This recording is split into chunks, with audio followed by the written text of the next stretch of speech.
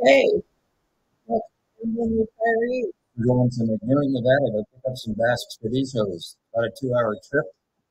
That's me looking over the uh, Owyhee overlook. If you ever get a chance to go out there, you really need to see it.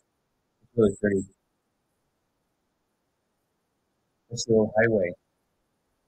Then Leslie Gulch and his free toilet if you need one. There's Oregon. Look at that great road.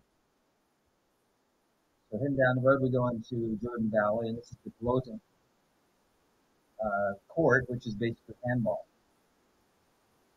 And the Basque Museum that's in uh, Jordan Valley is there because it's like one of the largest Basque um, people living together in the state of Idaho. This is Charbonneau's historic sort of great site. This is Sacagawea's baby boy. They called him Pomp. That's the road. It takes about eight miles out to get to it, but it's really tough to see. He actually was carried by Sacagawea. And we're going to come up to the 95 turnoff.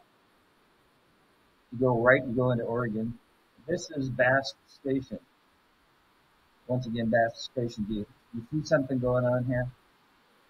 Entering in McDermitt, and the first thing you need to do when you get to McDermitt is to go to the Say When Casino, play a slot machine, and win a buck. This is Quinn River, also known as the Ideal Market. And we got Basque chorizos there. We're going to see how they are sometime in November.